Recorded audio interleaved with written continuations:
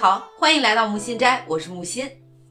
中国是封建统治时间最长的国家，所以那些封建思想呀根深蒂固，遭到很多人的抨击。而这些思想最早起源于商周时期。不过要说历来备受争议的男尊女卑思想，则要起源于一个人，那就是史上的一位才女班昭。那么很多人就很奇怪了啊，怎么起源于她呢？且听木心慢慢道来。班昭于公元四十五年出生于陕西咸阳东北，出自书香门第，家中共有三个孩子，班昭排行老三。他的父亲是一个知识渊博的学者，也是专门研究历史方面的人才，而他的两个哥哥，一个世袭了父亲的遗志，一个则是厮杀在战场之中，所向披靡。其中哥哥班固则是一个战场上的将军。值得一提的是。班固原本也是一个学者，不过不想为朝廷摘抄史料，所以弃文从武。而他的弟弟班超则是一个热爱学习的人，才气四溢。后面到了官府之中给朝廷办公，不过到了班昭这边，身世就比较凄惨了。班昭自十四岁那年就嫁给了曹世叔，没过多久啊，曹世叔便英年早逝了。自此，班昭便守起了寡。双耳不闻窗外事，一心钻研到史学之中。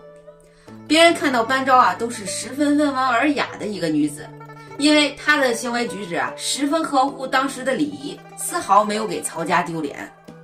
当时这班昭的哥哥班超在朝廷工作，不过啊，班超是个念旧的人，十分想回到家里面。班昭知道后，连忙书信一封，递给了当时的汉和帝。汉和帝看后十分动容啊。为此，就让班超直接回到了家中，算是圆了班超的一个心愿。不过，也是鉴于此啊，汉和帝十分欣赏班昭的文学才能，在哥哥班超逝世后，让班昭前去书写班超还没有完成的《汉书》。不过，也是由此，班昭却背负了长达两千年的骂名。在班昭帮助班超修订未完成的《汉书》之时，班昭就已经进入晚年了。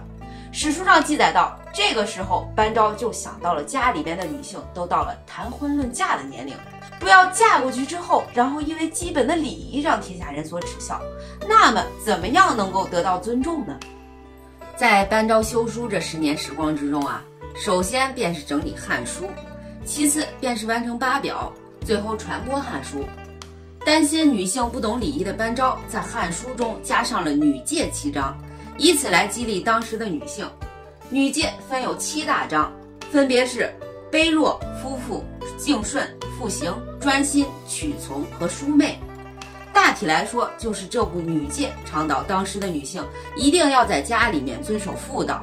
首先就是要承认自己身为女性，在社会之中是非常卑微的存在，绝不能够以下犯上冲撞丈夫。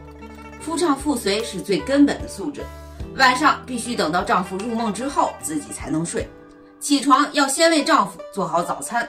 丈夫的地位比自己父母，甚至比天还大，不能够因为任何事情忤逆丈夫，必须无条件的服从丈夫。而在其中啊，则是列出了四条准则：第一，不能够打扮的光鲜亮丽；第二，什么事情都要有规矩，不能胡来；第三，不能嬉戏打闹，有失体态；第四。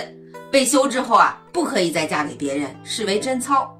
对于公婆，也要把他们当做自己的亲生父母来看待，需要无条件的服从。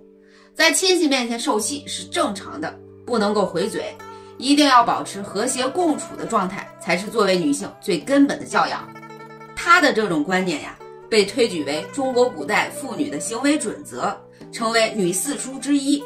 而这种思想的不断传播和提倡。禁锢了女性的思想和自由，所以到了今天呀，班昭的女性观受到了不少的批判。这本书呀，被很多人觉得是本烂书，可能是因为这本书中过于把女性压迫的喘不过来气了。很多人都觉得班昭实属是无理取闹，为此，关于班昭的名声也逐渐变得好坏参半，逐渐走向了没落。